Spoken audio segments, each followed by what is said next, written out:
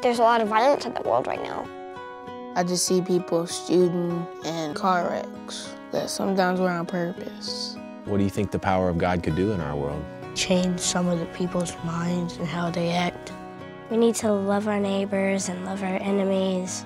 We've been talking about like Martin Luther King Jr. and he inspired me to stand up for other people, stand up for peace. You should be kind like always. If we try and work together and make everyone's rights equal, then maybe life will be fair.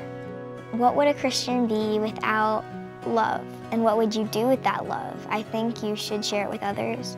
Make peace in the world and love each other. That's what I think.